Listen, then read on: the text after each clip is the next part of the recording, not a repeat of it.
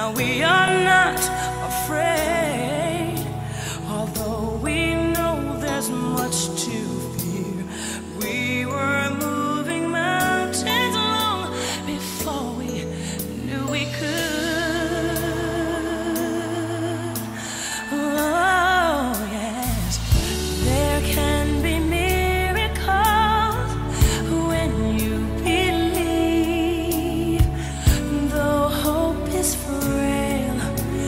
it's hard to